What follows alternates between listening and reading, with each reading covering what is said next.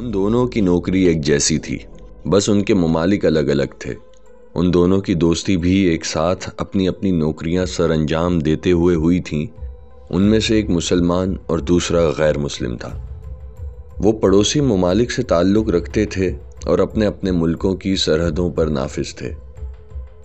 जिस इलाके में उनकी ड्यूटी थी, उस जगह आमद रफ्त ना होने के बराबर थी। वो सुबह शाम बातें करते और टहलते रहते थे। एक दूसरे की सरहद के पार बिला खौफ ख़तर यूँ आते जाते थे, गोया वो सरहद ना हो बल्कि दो दोस्तों के घर हों। उन दोनों ने मोहब्बत बढ़ाने के लिए कई हीले भी ढूंढ रखे थे। जैसे कि चाय बनाने की बारियाँ तय थीं, एक दिन चाय इस पार से आती तो अगले दिन उस पार से। अपने अपने त्यौहारों से वापसी पर तहाइफ का तबादला करते। अपने अपने इलाकों की दास्तानें, कहानियाँ वाक़ात और हालात एक दूसरे को सुनाते।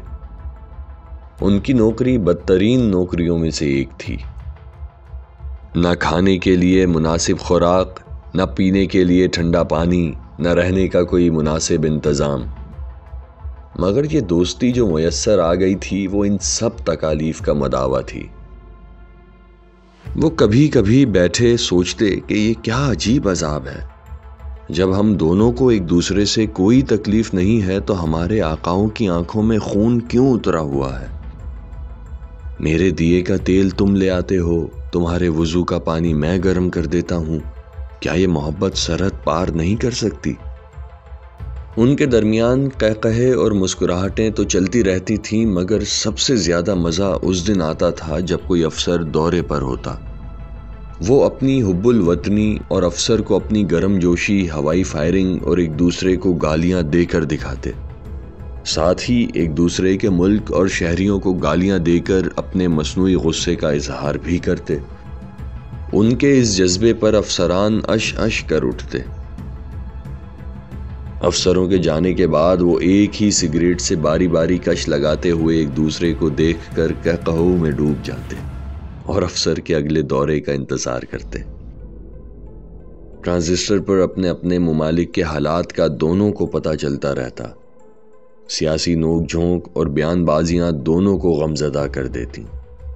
उनको लगता था कि ये बाढ़ और सरहदें महज जहन की तख्लीक हैं। कुदरत और इंसानियत इनसे मावरा है। वो इन बंधनों को नहीं मानते थे। लेकिन हम क्या मानते हैं, क्या समझते हैं और क्या जानते हैं, उसका हकीकत से ताल्लुक भी हो, ये ज़रूरी तो नहीं। खैर, उनके ममालिक की आपस में ठन गई। उन दोनों को अपने अपने ममालिक से पैगाम मौसू होने लगे कि तुम अगर मर भी गए तो तुम ज़िंदा रहोगे, तुम शहीद हो जाओगे, मुल्क की तारीख में अमर हो जाओगे। वगैरह वगैरह। लेकिन उनसे किसी ने नहीं पूछा कि वो ज़िंदा रहकर ज़िंदा रहना चाहते हैं या मरकर ज़िंदा रहना चाहते हैं। वो पूछना चाहते थे कि किसी को जीते जी मारकर ज़िंदा रहने का ख्वाब कैसे दिखाया जा सकता है। आखिरकार जंग शुरू हो गई। ये उनकी ज़िंदगी के मनहूस तरीन दिन थे।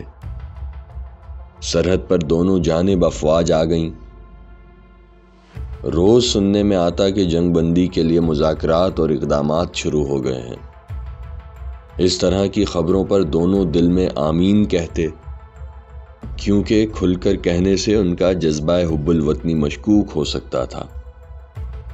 मगर ये सब खबरें अफवाहें साबित हुई और जंग शिद्दत इख्तियार कर गई।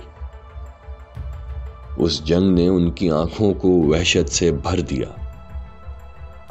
अब कुछ भी पहले जैसा ना रहा था।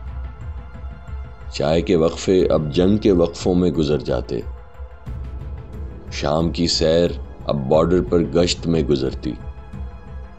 जंग ने खुदा जाने कब तक चलना था। मगर वो हर वक्त जंग बंदी की दुआओं में मसरूफ रहते। बिला आखिर उनकी दुआ तो कबूल हुई, मगर अजीब अंदाज में। दोनों दोस्तों में से एक मर गया। उसकी मौत के साथ ही उसके लिए जंग बंद हो गई। वो अब अमर हो गया था। उसे वो शहीद कहता था क्योंकि वो मरकर भी उसके लिए मरा नहीं था। लेकिन उसके ट्रांजिस्टर पर उसके दोस्त को जहन्नुम वासिल करार दिया जा रहा था। उसका दोस्त तो जहाने फानी छोड़ गया था, मगर वो जीते जी कहीं का नहीं रहा था। कुछ दिन बाद उसे भी गोली लग गई और उसने भी दम तोड़ दिया। उसको बगैर गुसल दिए दफनाने के लिए ले जा रहे थे क्योंकि ये शहीद था। मगर बॉर्डर के इस पार इसके जहन्नुम वासिल होने की खबरें चल रही थीं। उन दो दोस्तों की मौत के कुछ दिन बाद जंग बंद हो गई। दोनों ममालिक दोस्त बन गए।